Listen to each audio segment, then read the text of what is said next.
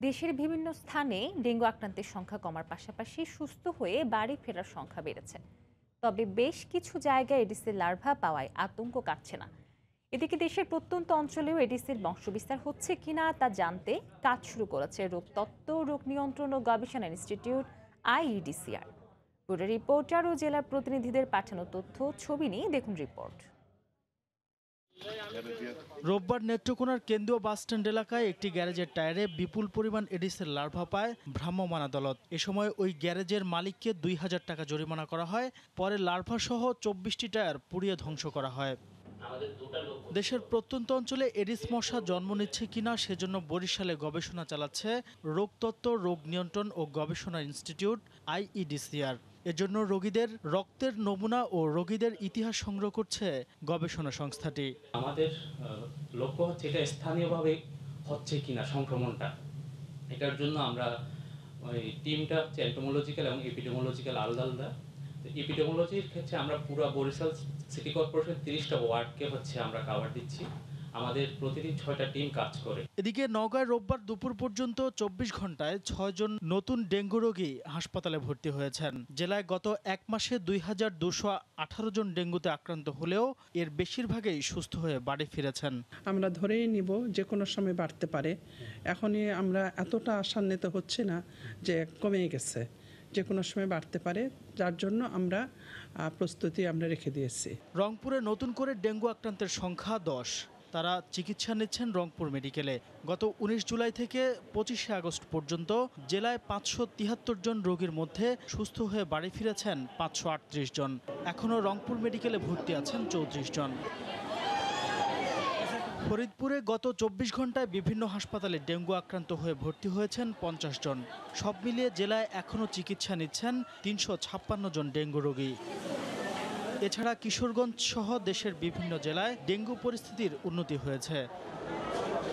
আবনমান, সময় সংবাদ। ডেঙ্গু পরিস্থিতির খবর জানাতে এই মুহূর্তে সিলেট মেডিকেল কলেজ হাসপাতালে রয়েছেন রিপোর্টার আব্দুল আহাদ এবং বরগুনা সদর হাসপাতালে রয়েছেন রিপোর্টার এম এ আজি প্রথমে চলে যাচ্ছি আহাদের কাছে। আহাদ আগে বলা হয়েছিল সিলেটে যারা চিকিৎসা নিচ্ছেন তারা সবাই ঢাকা থেকে আগত, কিন্তু এখন দেখা যাচ্ছে এখন এখান থেকে আক্রান্ত হয়ে ডেঙ্গু রোগীরা এখানে চিকিৎসা নিচ্ছেন। এমন রোগীর সংখ্যা হচ্ছে তেত্রিশ জন এবং আমাদেরকে সিলেট ওসমানী মেডিকেল কলেজ হাসপাতালের পক্ষ থেকে বলা হয়েছে এখনও পর্যন্ত এই মেডিকেলে তিনশো একচল্লিশ জন রোগী চিকিৎসা নিয়েছেন যারা ডেঙ্গু রোগে আক্রান্ত হয়েছেন। এর মধ্যে ঢাকা থেকে আক্রান্ত হয়ে এসেছেন এখানে তিনশো জন এবং সিলেট থেকে আক্রান্ত হয়েছেন তেত্রিশ জন। এই তেত্রিশ জন আক্রান্ত হওয়ার বিষয়টি হলো সিলেটের জন্য একটি এলার্মিং বলা হচ্ছে কারণ এর আগে সিলেটে ডেঙ্গু রোগী পাওয়া যাচ্ছিল না এবং যারা ডেঙ্গু ডেঙ্গু রোগী সিলেটে পাওয়া যাচ্ছে তারা বেশিরভাগই আসছেন মৌলভীবাজার থেকে এবং ওইদিকে হবিগঞ্জ থেকে এবং হবিগঞ্জের যে শিল্পাঞ্চল যেটি রয়েছে সেখান থেকেই আক্রান্ত হয়ে এখানে রোগী ভর্তি আমরা এখানে দেখতে পাচ্ছি। এবং এই এই জন্য আমরা সিলেট সিটি কর্পোরেশনও বেশ সতর্ক অবস্থানে রয়েছে। কদিন আগে তারা সিলেটের কদমতলিতে এডিস মশার লার্ভা পাওয়া গিয়েছিল এবং সেখানে তারা বেশ বড় অঙ্কের জরিমানাও করেছে। আমরা কথা বলেছিলাম এই হাসপাতালের পরিচালকের সঙ্গে ব্রিগেডিয়ার জেনারেল ইউনুসুর রহমান। তিনি বলেছেন যে, যারা ডেঙ্গু রোগী এখানে ভর্তি আছেন, তাদের সবাইকে ফ্রি চিকিৎসা দেওয়া হচ্ছে এবং এই হাসপাতালের যে মেডিসিন বিভাগের যিনি বিভাগীয় প্রধান রয়েছেন, শিশির চক্রবর্তী তার নেতৃত্বে এখানে নতুন করে একটি ডেঙ্গু রোগীদের জন্য একটি ওয়ার্ড চালু করা হয়েছে। এখানে বর্তমানে ভর্তি রয়েছেন বাইশ জন রোগী যারা আপনারা দেখতে পাচ্ছেন ক্যামেরায় এবং তাদেরকে সার্বক্ষণিক চিকিৎসা দেওয়া হচ্ছে এবং ডাক্তাররা চব্বিশ ঘণ্টা এখানে চিকিৎসা দিচ্ছেন এবং ঔষধ সহ সব কিছু এখানে বিনামূল্যে দেওয়া হচ্ছে যাতে রুগীদের কোনো সমস্যা না হয়। এবং আমাদেরকে জানানো হয়েছে, গত চব্বিশ ঘন্টায় এখানে নতুন করে ভর্তি হয়েছেন তিনজন রুগী এবং গতকাল ভর্তি হয়েছে, হয়েছিলেন পাঁচজন এবং এর আগের দিন ভর্তি হয়েছিলেন সাতজন। তবে চিকিৎসকরা যেমনটি বলছেন যে শীত মৌসুম আসার আগ পর্যন্ত হয়তো ডেঙ্গু রোগীর সংখ্যা বাড়তেই থাকবে। তবে সিলেটে যেহেতু এখন নতুন করে রুগী পাওয়া যাচ্ছে, এ কারণে সিলেট নগরবাসীকে একটু সতর্ক হয়ে চলাফেরা করার জন্য তারা ডাক্তাররা পরামর্শ দিচ্ছেন এবং বলছেন যে যে নিজের বাসাবাড়ির আঙ্গিনায় যদি কোনো ময়লা আবর্জনা থেকে থাকে তবে সেগুলো পরিষ্কার করার জন্য। এই ছিল আমার কাছে মৌ সিলেটের খবর। এখন আমরা বরগুনার খবর জানব। সহকর্মী এম এ আজিমের কাছ থেকে।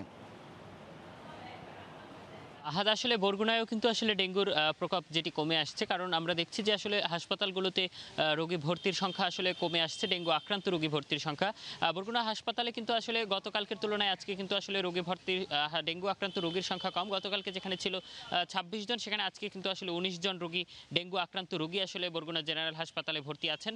এবং এই যে ডেঙ্গু আক্রান্ত রোগীর সংখ্যা আসলে কমে আসছে, সেখান থেকে কিন্তু আসলে মানুষের মধ্যে কিন্তু আসলে ডেঙ্গুর যে প্রতিরোধের যে সচেতনতামূলক যে কার্যক্রমগুলো ছিল সেগুলোও কিন্তু আমরা দেখছি যে আসলে জেলা জুড়ে কমে আসছে। যেমন এই বরগুনা সদর হাসপাতালের কথাই যদি আমি বলি, যে বরগুনা সদর হাসপাতালের যে ময়লা রাখার যে ভাগার সেখানে কিন্তু আসলে অনেক ডাবের পরিত্যক্ত খোসা আসলে এখনও পড়ে আছে এবং যেগুলো কিন্তু আসলে অপসারণ করা হচ্ছে না প্রায় সপ্তাহখানেক ধরে আমরা দেখছি এবং এগুলোতে কিন্তু এই যে আপনি দেখছেন এখনও গুড়ি গুড়ি বৃষ্টি হচ্ছে। এভাবে কিন্তু আসলে গত কয়েকদিন ধরে বা গত এক মাস ধরেই কিন্তু আসলে কিছুক্ষণ পর পর হালকা বৃষ্টি হচ্ছে এবং এই হালকা বৃষ্টির ফলে কিন্তু আসলে বিভিন্ন জায়গায় স্বচ্ছ পানি যেগুলোতে আসলে ডেঙ্গু জন্ম নিতে পারে ডেঙ্গু মশা সেই পানি কিন্তু আসলে জমে যাচ্ছে এবং হাসপাতালের মধ্যেই কিন্তু আমরা দেখছি যে আসলে ড্রেন সহ এই যে ডাস্টবিনে যে পাত্রগুলো পড়ে থাকে সেগুলোতে কিন্তু আসলে পানি জমে যাচ্ছে এবং এই পানি জমার ফলে কিন্তু আসলে সেখানে কিন্তু আবার নতুন করে ডেঙ্গু মশা জন্ম নিতে পারে। শুধু যে হাসপাতালের কথা বলছি তা কিন্তু নয়,